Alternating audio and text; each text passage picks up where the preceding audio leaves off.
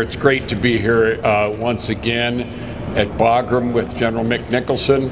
Uh, and I'll say a few things about our meetings today, and then uh, both uh, General Nicholson and I will be pleased to respond to your questions. Um, I uh, uh, have come here for two main purposes. The one is to thank him, our NATO partners, and our Afghan partners for their efforts all together uh, to ensure a bright future for the Afghan people and to protect our own people from attacks originating here. I have uh, full confidence in General Nicholson, uh, and that's, uh, that's true also the chairman and the president. We're very lucky to have him here. I've known him for a long time. I have great confidence in his leadership, and I'm very pleased that he uh, is here with his wife also. And I want to mention that my uh, wife Stephanie is here also, and that's the other reason why I'm here, is to, it's holiday time is approaching, and to thank the wonderful men and women uh, who have performed so well here in Afghanistan, and, you know, indirectly Americans going back many years uh, who have done so well, sacrificed so much. Remember all of them at holiday time. Uh, and uh, right, since I'm here at Bagram also, and I'll have a moment shortly to uh, especially remember them, uh, but also in our thoughts and prayers of the families of those who perished here uh, uh, here at Bagram recently in the incident. And again, we'll be visiting that site shortly. I just came from Kabul, had productive meetings with President Ghani, uh, and discussed the continued U.S. commitment to Afghanistan. I commended the determination of the Afghan uh, security forces. Um, this, uh, uh, it, I've made many visits to Afghanistan myself. This was the first place I came when I became Secretary of Defense, uh, so I know it well. And um, I am therefore able to say, both to General Nicholson, but to all the U.S. service member, members here, how proud I am of uh, what they're doing here and how well they're doing it.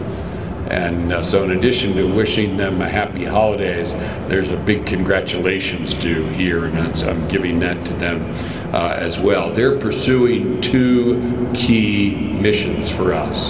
The first is the counterterrorism mission, and the second is giving enabling support to the Afghan security forces. And uh, the United States uh, made three key decisions in 2016 that General Nicholson and I and Chairman Dunford recommended to President Obama, and he approved that it will shape our future involvement here.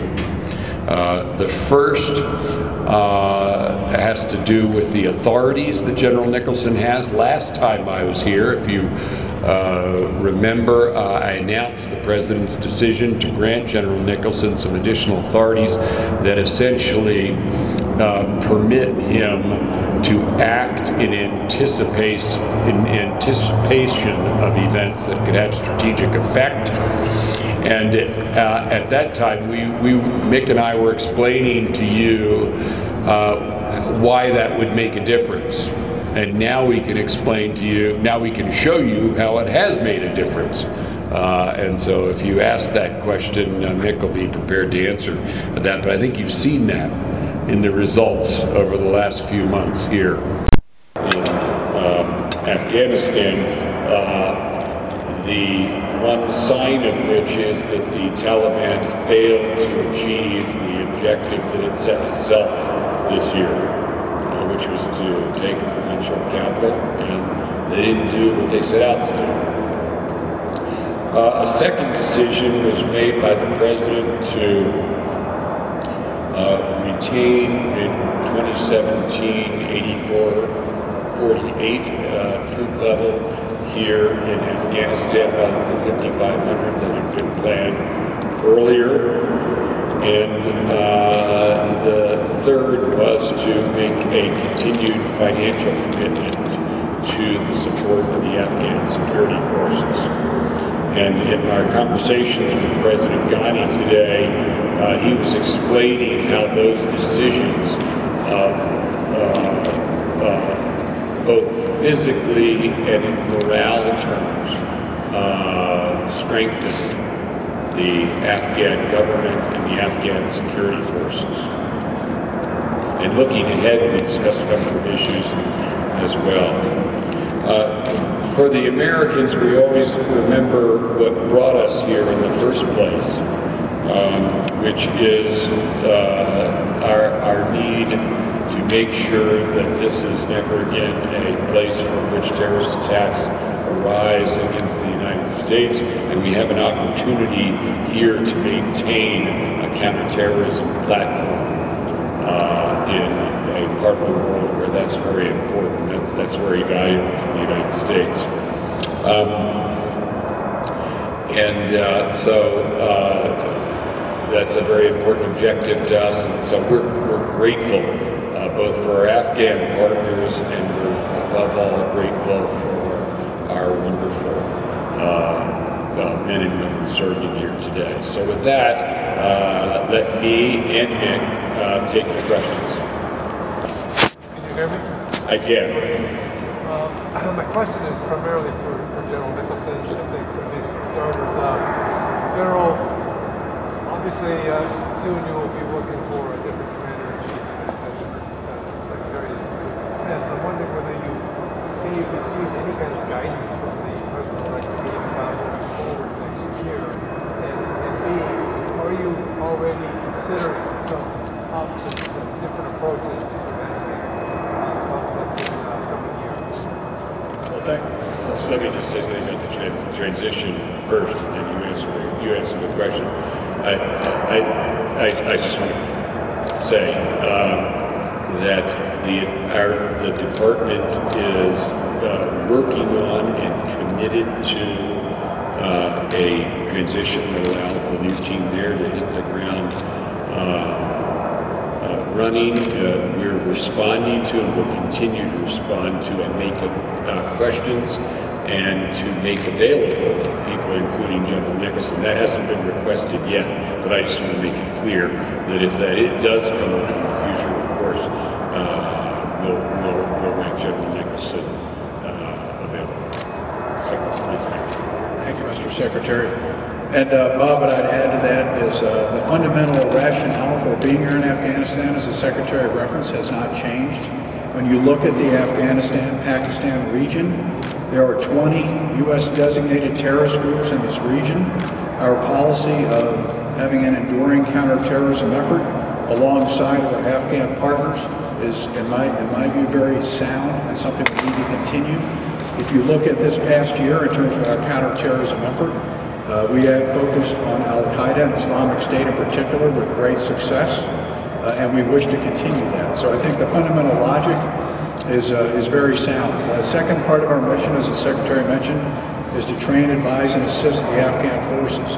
When you look at the performance of the Afghan forces this year, it was a tough year. They were tested, but they prevailed. And this is a testimony to the effectiveness of our mission here.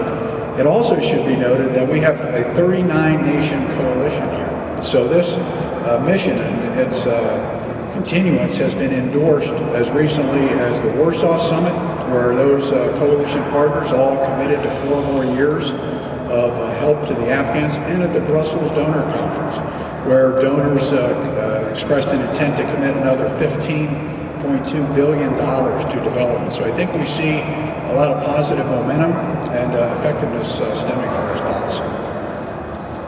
Secretary, uh, nice and fast. You've been here for a time, like you mentioned. uh, President-elect Trump's not given too much information about his policies uh, for Afghanistan. Um, What advice do you have for him on how to deal with Afghanistan? And and General Nick- deal with Afghanistan? Afghanistan. And General Nicholson, um, could you define what success, I guess, planned success in Afghanistan should look like maybe five years or ten years down the road? Is that 100% of territory is in the time limit? What is the aim at the end of the day? Well, with respect to the first part of your question, I think the uh, uh, uh, interests that we're pursuing here are clear and enduring, namely uh, to uh, protect ourselves from attack ever arising again from Afghan territory.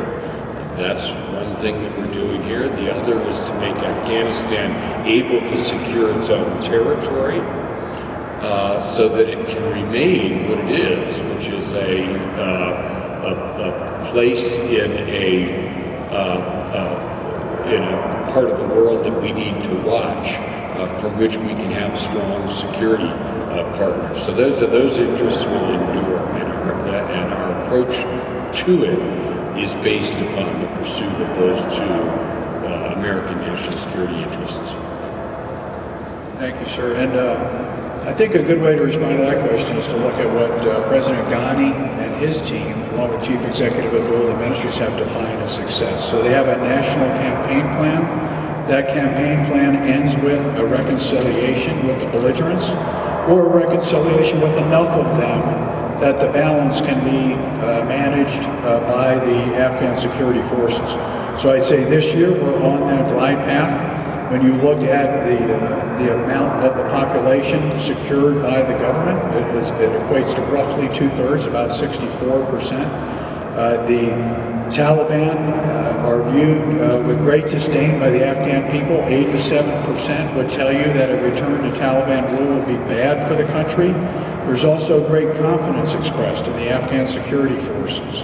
And so, and again, roughly three quarters of the population say they have uh, faith and confidence in the Afghan security forces. So these ingredients add up to, uh, a, I think, a year-on-year increase in the amount of uh, security provided by the government over the population, and that is the objective of the National Campaign Plan, to a point where the uh, enemy is incentivized to reconcile. Now, let's look at the Hezbi Islami uh, peace uh, deal that was reached this year. Uh, this uh, is an important milestone. It, it, demonstrates that former belligerents can reconcile with the government, and next year they'll go through a reintegration process. So I think uh, year on year, uh, with the support provided by the international community, from the Warsaw Summit, from Brussels, uh, we're going to see this gradual improvement in the situation until they get to this critical mass of the population that they control, and ideally a reconciliation with the belligerents. Thank you. General Nicholson, you and, and, and, Secretary Carter, you both spoke of efforts against uh, terrorism, and uh, Secretary Carter, you, you, spoke of great success going against Al Qaeda. Uh, since the original authorization for the use of military force here was specifically tailored to go after Al Qaeda, to what extent has Al Qaeda been eliminated from Afghanistan? And how far are, is the United States from achieving that objective? Uh, well, this, this, has been a, a, a, big year in that um, connection. Uh, David, and since he uh, uh conducted many of those operations, uh, let me give uh, Mick a pleasure of reporting the results. Thank you, Mr. Secretary. And uh, first I want to thank our uh, counterterrorism forces, special operations forces have done a great job this year. These operations have been done in conjunction with our Afghan partners. So uh, highlights this year, I mentioned there were 20 terrorist groups in the region. Seven of those are in Pakistan. Of these 20, our CT forces with, operating with the Afghans have killed five of the emirs of the 20 organizations. They have inflicted, uh, if, for example, you take Islamic State, so Islamic State has lost a third of its fighters, two-thirds of the territory that they had seized, and we have killed the top 12 leaders, including their emir, uh, Hafiz Sayed Khan. So this is just one example. Against Al-Qaeda, Farouk al-Qatari, who was the external operations director for Al-Qaeda, was killed on October 23rd, along with a few of his associates. Uh, he was involved within the last year in active uh, plotting against uh, the West, against the United States and our allies. So by removing him, we have severely disrupted their ability to do that. We'll continue to keep the pressure on these organizations and we'll continue to take the fight to them. Uh, and so we, uh, the medium within which some of these groups like uh, Islamic State and Al-Qaeda operate is provided in part by the other insurgent and terrorist organizations in the country. So pressure on the on the whole is important. I also want to point out the Afghans' uh, key role in all of this. So 80% of the operations uh, done by the Afghan Special Forces are independent of U.S. Uh, enablers, but those operations are critical in keeping pressure on these uh, organizations. What if you could uh, characterize Al Qaeda today? If- Let me follow up. Uh, Does Al Qaeda represent a threat to the United States at this point in Afghanistan? Al Qaeda has the intent uh, to attack the United States. Their capability, we're working hard on that, on reducing that capability. But what you see, you have uh, core Al Qaeda, you also have Al Qaeda's affiliates. So here in Afghanistan, we have a group called Al Qaeda in the Indian subcontinent. And so the two of these groups together have the intent and the capability to conduct attacks outside of Afghanistan. And in the case of, of core Al Qaeda, they certainly have the intent uh, to try to conduct operations against the United States.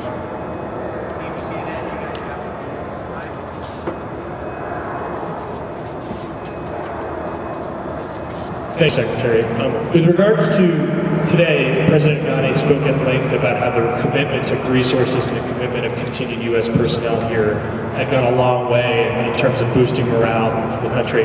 But given that there's a transition, a, a new administration coming in, are you hearing any expressions of concern from the Afghan partners, whether in the Afghan military or within the Afghan political establishment? And if I may just quickly uh, General, you've described a moderate level of risk with the current resources. Um, would, what additional resources would reduce that risk? Is it more trainers, more air assets, those kind of things? Oh, Well, with respect to the first part of the question, no, it wasn't, I did, uh, there wasn't concern. Um, uh, we did talk about the future. Uh, so in addition to President Ghani uh, uh, thanking the United States and the coalition for the decisions made over the last year continued uh, support, um, we did talk about the future. Um, we talked about the so-called winter reset uh, which is important to look ahead to next summer. Uh, we look, we, talked about the importance of uh, political unity here in Afghanistan continuing into the future. Uh, we talked about the continued need for economic uh, and uh, reform and any corruption. Um, and we talked about regional security affairs and the actions of others in the area, uh, including their actions within Afghanistan. So it was a very forward-looking uh, uh, conversation. Uh, but the reason why I think uh, President Ghani has confidence in the future of his uh, country is well, importantly because of some of the decisions taken over the last year. Now, the second part of your question, I think that was for general. Thanks, Mr. Secretary. Well, thanks for the question, and, uh, a- a- and to reiterate on the Warsaw Summit, so when we talk about Afghan uh, morale and hope for the future, the international decision of this coalition to recommit to four more years uh, provided a huge boost in morale to the government, to the Afghan security forces themselves, but mainly to the Afghan people. So I think uh, in July, that renewal of commitment, and then the, the follow-on at Brussels with the renewed uh, donor commitment was extremely important to Afghan uh, morale. Uh, we have seen, despite the fact that this was a tough year, and I would say the Afghan security forces were tested, but they prevailed. We've actually seen a, a decrease in the number of Afghans who uh, say they would seek to emigrate. Now, I, I know they, these are small signs of, of, of uh, morale. I already mentioned the fact that uh, you know, 87% of the people do not want to see a return of the Taliban. Uh, with respect to the question on risk, I've said it's a moderate but acceptable level of risk. And in terms of uh, what uh, are we doing, of course, we're primarily doing our counterterrorism mission. And when I need additional assets for that, they are brought in uh, for the duration that we need them, and then they can depart again. So there's been, I've been able to get everything I've needed when it comes to my counterterrorism mission. And with respect to the advising mission, what we've done uh, this year is sort of reorganized our advisors and gone back to some of our allies, uh, especially with respect to, for example, the training base, the schools, the education system, and we've got some great contributions from uh, many of our allies on this. Uh, the Germans, the Italians, the Brits in particular have all provided additional focused uh, groups of advisors in some of these key areas. So in the NATO system, every six months, we do a review of the mission. It's called a periodic mission review. And then we review our requirements. Then we go out to the alliance with, the, with those needs. And so this uh, process uh, is what, uh, you know, as we get the numbers back in from all the allies, that's what causes me to gauge my risk. So, uh, but I should point out, we're not only asking the U.S. for these, we also go out to all of our allies as well. I just came here from the foreign ministerials meeting in Brussels with NATO. I was very encouraged by what we heard from the nations and the foreign ministers. I think uh, when you look at the range of challenges uh, facing NATO, uh, there remains a strong commitment to Afghanistan uh, going, forward, as mentioned at Warsaw, and Brussels, and now again at the foreign ministerials. So I feel like we will have the resources we need going forward.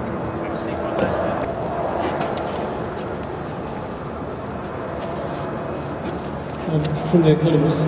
Um, so when I've been here on previous visits over the years, there was a time when people talked about the security piece of nation building, schools, girls going to school, governance, kind of working to train up civil servants, all that stuff.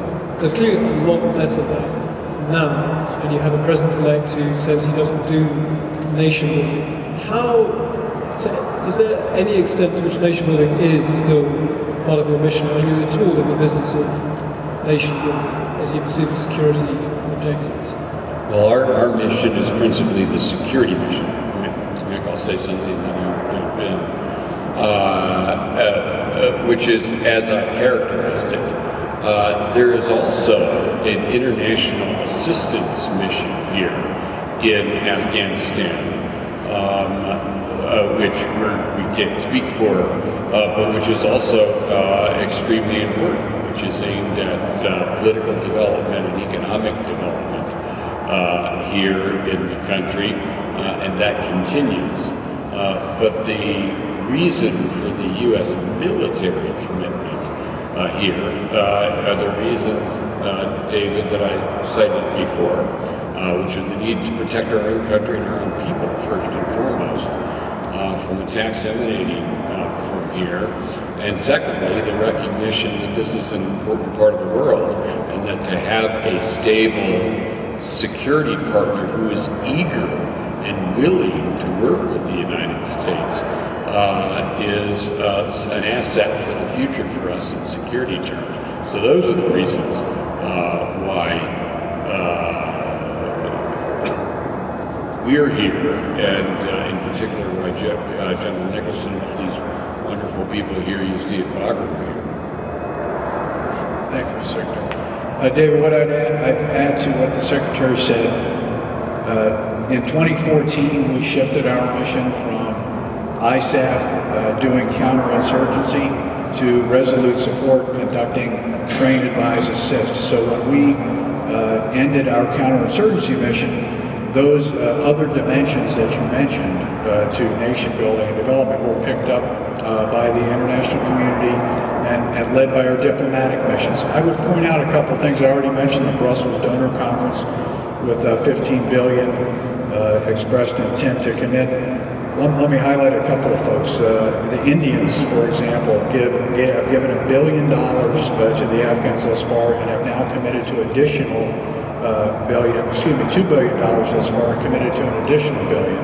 Uh, you see uh, the U.S., this is one of our largest development programs. It remains not administered, of course, by the Pentagon, but by the State Department and USAID. So we see continued uh, strong commitment in, in many of these other areas going forward. In the, uh, speaking on the military side, it's also worth noting that when Secretary Carter became the Secretary of Defense, you know, we had close to 100,000 uh, troops here, and now we're down to one-tenth of that. So the, the, the, the, way we've been able to do that is because the Afghan security capability has been uh, built up over that same period to where they now provide over 300,000 uh, service uh, members, police, out there securing the country with our advising and assisting, again, at one-tenth of the level we once were. So we've seen a real shift in terms of our uh, focus uh, going forward. So that's reflected not only uh, in the uh, in the numbers of troops, but also it's actually uh, in, in our mission statement. It's, it's what we do.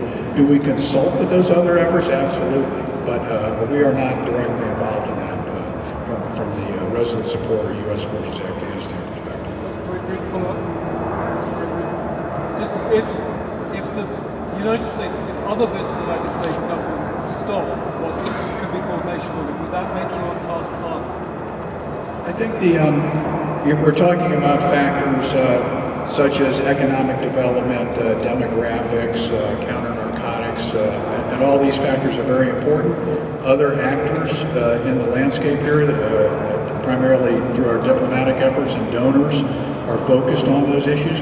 We, we certainly uh, stay, uh, try to coordinate our activities with them, uh, but, but our main focus is, uh, is on, uh, on the security dimension going forward. And again, from my assessment as a commander on the ground, the Afghans are making steady progress in that, in that arena. And that's been proven this year uh, in the fact that they were tested, they prevailed, the, the enemy sought to take their take cities away from them on eight separate occasions. Let me let me uh, go one day, the 6th of October, there were simultaneous attacks on four Afghan cities. The Afghans defeated them all.